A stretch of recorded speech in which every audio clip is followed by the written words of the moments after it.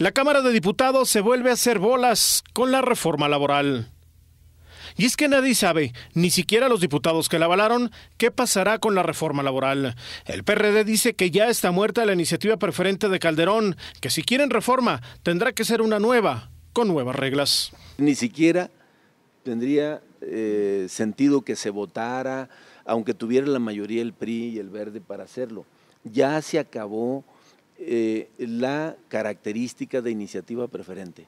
Ya, con el hecho que el Senado la modificó y la regresó, ya se acabó.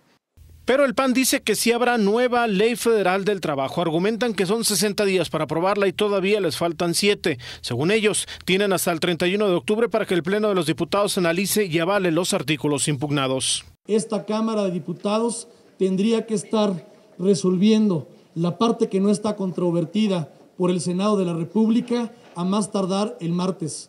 No queremos que haya pretextos, no vamos a permitir que haya chantajes, no queremos retrocesos, creemos que la razón nos asiste. La ley dice que en caso de que se modificara la iniciativa preferente, ambas cámaras podrían acordar la publicación de los artículos, que no cambiaron. Pero sin reglamento, solo hay un limbo jurídico. ¿Sigue conservando el carácter de iniciativa preferente? Es discutible. Algunos sostienen que sí, aunque incurre en omisión la Cámara de Diputados. Yo digo que es otra iniciativa, porque se alteró y se agregaron otros artículos que no contenía la iniciativa original. El Partido Verde, aliado político del PRI, anuncia que sea como sea, habrá nuevas disposiciones laborales.